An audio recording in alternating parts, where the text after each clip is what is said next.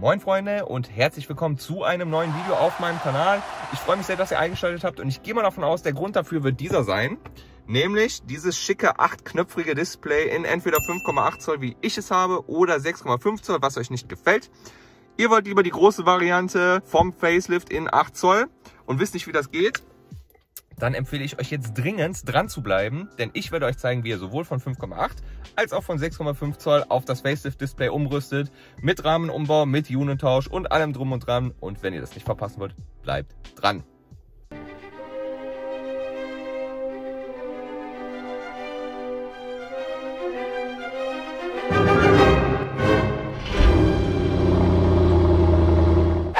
Starten wir doch einfach mal mit der allerbeliebtesten Frage von allen, nämlich was braucht es eigentlich für den Umbau von 5,8 bzw. von 6,5 auf 8 Zoll Display, also auf diesen netten Schinken hier. Also, das kommt natürlich ganz darauf an, was ihr aktuell verbaut habt. Das ist eine relativ einfach zu beantwortende Frage. Nein, nicht.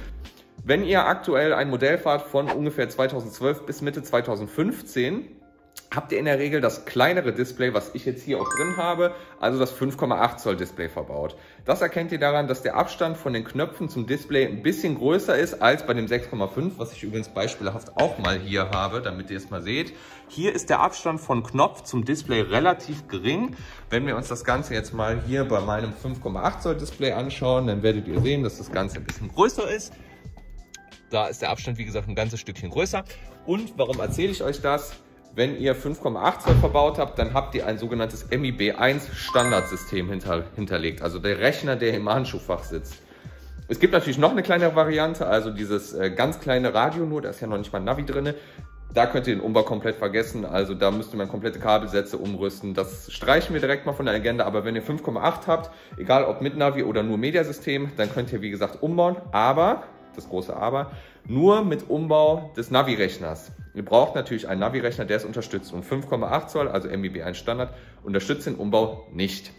Wenn ihr 6,5 habt, also Mitte 2015, bei den Cupras sowieso fast immer verbaut, ähm, bis jetzt aktuell, bis zum Facelift, wo sowieso schon diese Displays hier verbaut wurden, dann äh, habt ihr sowieso, ich sag mal, ein relativ umbaufreundliches äh, Navi-System verbaut, also könnt ohne weitere ähm, ja, Umbauten auf das 6,5, äh, auf das 8 Zoll Display umbauen. Ihr braucht also nicht den Rechner tauschen, das ist schon mal ein großer Vorteil und spart euch natürlich einiges an Geld, weil die Rechner sind richtig teuer. Ihr kommt auch bei dem 6,5 Zoll Umbau aber nicht darum herum, den Rahmen umzubauen. Denn um das 8 Zoll Display umzubauen, müssen wir den ganzen Navi-Rahmen ein bisschen umbauen. Also da, wo das Display eingesetzt wird, weil das ein bisschen anders ist. Aber da komme ich nachher noch zu. Fassen wir also zusammen. Wenn ihr 5,8 Zoll Display verbaut habt, dann müsst ihr den Rechner tauschen. Wenn ihr jetzt schon 6,5 Zoll Display verbaut habt, dann müsst ihr keinen Rechner tauschen. Ihr müsst nur den Rahmen umbauen. Wichtig auch für euch zu wissen, typische Fehlerquelle, wenn ihr 5,8 verbaut habt, könnt ihr auch nicht auf 6,5 Zoll umrüsten. Das wird grafisch auch nicht unterstützt. Also versucht es gar nicht. Und, nochmal ein bisschen weiter gefasst, ihr könnt auch nicht einfach bei eBay hingehen und einen MBB2 Rechner kaufen. Die sind alle mit Komponentenschutz belegt und nicht alle lassen sich auch freischalten. Also das heißt, äh, wenn, müsst ihr wirklich ausgewählte, ganz neue MBB2 Standards oder MBB2 Highs, also Navi Plus, dafür nehmen. Da komme ich aber gleich nochmal zu. So, wir beginnen jetzt zuallererst erstmal damit, den Rahmen auszubauen bzw. auszuklipsen und das alte Navi auszubauen. So, ich hoffe, ich verdecke euch jetzt nicht zu stark die Sicht. Was ihr macht, ihr geht einfach hier mit dem Hebelwerkzeug drunter. Das hört sich zwar alles andere als angenehm immer an, aber so kriegt ihr ganz entspannt euren Rahmen hier raus. So, das macht ihr alles peu à peu. Könnt das auch gerne ein bisschen von oben machen. So, im nächsten Schritt nehmt ihr das Navi raus, hierfür unser spezielles Hebelwerkzeug äh, bzw. Entriegelungswerkzeug, was wir ja schon kennen aus diversen anderen Videos von mir. Das kann man super nehmen, um hier unten in die Schlitze reinzukommen. Zack, und schon habt ihr das Display raus. Super einfache Arbeit. Dann hier hinten die zwei Stecker noch lösen und schon habt ihr... So, schon habt ihr das alte in der Hand und das kann weg. Wenn ihr eure Stecker dann bzw. euer Display ausgebaut habt, seht ihr hier, dass der Stecker, ja, ich sag mal, nicht passend wäre mit dem neuen Display, weil der ein paar mehr Nasen hat, als es das Display bzw. der Stecker vom neuen Display hat. Deswegen müssen wir jetzt erstmal ein paar Nasen abtrennen. Und zwar geht das am besten mit einem Cuttermesser und die Nasen, die ab müssen, ähm, ist eigentlich relativ leicht, die bei dem neuen 8 Zoll Display nicht existieren. Das sind einmal die, ich sag mal, oben links, also hier links quer die drüber und die unten rechts, also direkt parallel gegenüber, sodass ihr nur noch diese, ja ich sag mal, drei relativ mittigen kleinen Nasen habt. Und dann passt euer Display auch vom Stecker her jetzt ganz genau drauf. Wie wir sehen, funktioniert das jetzt auch und euer Bild wird übertragen. So sieht das Ganze übrigens dann aus, wenn ihr euren Rechner nicht mit Tausch und ein MIB 1, also vor 2016 verbaut habt mit den 5,8 Zoll. Ich habe ja meine Unit hier noch, die kommt jetzt gleich rein, damit das Ganze auch vernünftig aussieht. Aber jetzt nur einmal, um zu sehen, wie das aussehen würde, wenn ihr den Rechner nicht mit Tausch und ein MIB 1 habt. Wenn ihr euch von eurem Display hier befreit habt, dann geht es im nächsten Schritt an die Unit. Also das nur, wenn ihr ein 5,8 Zoll Display verbaut habt, sonst könnt ihr diesen Step überspringen. Ich mache euch jetzt neuerdings ja auch Kapitel, dann könnt ihr einfach dran vorbeispringen. Wenn ihr die 5,8 Variante habt und die Unit mittauscht, dann geht es jetzt ans Handschuhfach. Das habt ihr alles schon mal gesehen. Das werde ich euch jetzt zeigen. Jetzt müsst ihr mal ein bisschen zwischen meine Beine stehen. Was wir jetzt machen, ist hier das Handschuhfach rausnehmen. Und zwar müssten wir das dann hier an den Laschen so ein bisschen nach innen drücken und dadurch runterklappen. Denn sonst kommen wir hier nicht an unser Navi dran. Wir sehen es hier schon, es ist jetzt hier so ein bisschen verdeckt. Und das können wir dann jetzt ein bisschen befreien, indem wir hier die Blende, das können wir sogar mit einem Arm machen, einfach in eure Richtung ziehen.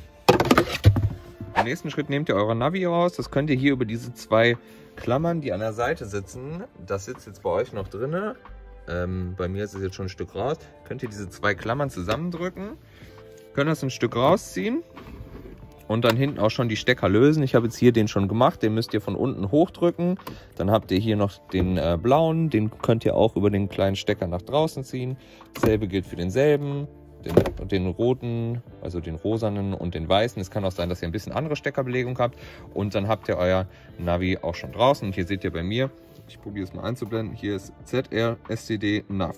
Also im Grunde genommen MIB1 Standard. Das heißt, damit kann ich nicht viel anfangen. Hier muss ein neues rein, um ein 6,5 oder 8 Zoll Display nachzurüsten. So, im nächsten Schritt setzt ihr euer neues. Das ist jetzt hier bei mir ein MIB2 High. Erkennt ihr hier mal so schön an dem Metallgedöns, was hier hinten dran ist. Mit äh, hier MOST-Anschluss, den ihr nutzen könnt, wenn ihr ein Virtual Cockpit nachrüsten möchtet. Und den, ja, bauen wir jetzt einfach mal ein, würde ich sagen. Ne? Und auch so einen pinken Stecker wie ich habt hier beim MIB 1, müsst ihr die hier oberen, ja, oberliegenden kleinen Steckernäschen wegmachen. Diese zwei, die ganz oben und etwas, ja, ich würde jetzt mal sagen, so ungefähr auf ja, 11 Uhr liegende Nase, die beiden müssen weg, also 11 und 12 Uhr und die unteren bleiben dran, damit das auch alles hier vernünftig funktioniert. Wenn auch der dann angepasst ist, ein bisschen jetzt abgeschnitten ist, kann dann dieser auch eingesteckt werden und zwar diesmal in das graue, in den grauen Eingang. Das passt dann auch. Zack. Und dann machen wir auch den normalen Stecker wieder dran und dann müsste auch alles laufen.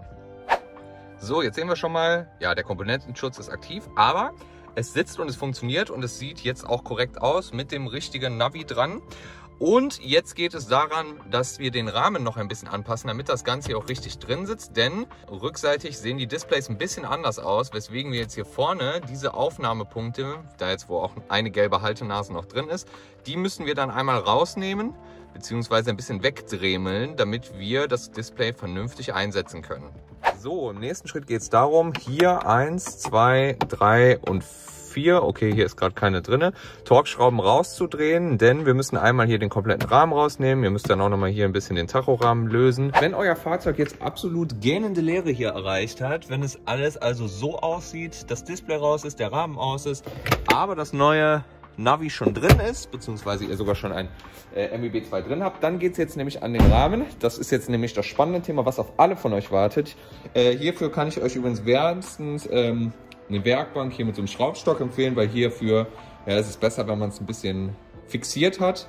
Äh, ist mit Sicherheit keine schlechte Variante. Ich baue jetzt hier mal ein bisschen um, mache das Chaos mal weg und dann starten wir direkt. Jetzt wird leider ein kleines Stückchen von eurem Rahmen sterben müssen, nämlich dieser hier vorne, der Teil. Ungefähr genau bis zu der ja, bis zu dieser Abkantung hier vorne. Das werden wir abnehmen müssen. Wenn ihr einen Dremel habt, macht es mit dem Dremel. Wenn ihr äh, andere Möglichkeiten habt, ein kleines, ein kleines Messer, eine Säge oder sowas, dann könnt ihr es auch machen. Ich versuche es jetzt mit dem Cuttermesser, ist jetzt nicht so unfassbar vielversprechend, aber es gibt schlimmere Möglichkeiten. Das muss einmal ab und dafür verliert ihr hier zwei Haltepunkte, ist aber nicht so dramatisch und dann sehen wir uns gleich wieder. Wenn ihr den vorderen Streifen fertig habt, müsst ihr hier von dieser kleinen, also beziehungsweise nicht den vorderen, sondern den oberen Streifen fertig habt, müsst ihr hier von dieser, von dieser kleinen Einbuchtung noch ein bisschen was wegnehmen, seitlich, damit das auch reinpasst. Ihr könnt auch gerne das 8 Zoll Display immer ein bisschen daneben legen, um zu gucken, ob es passt, also immer reingucken.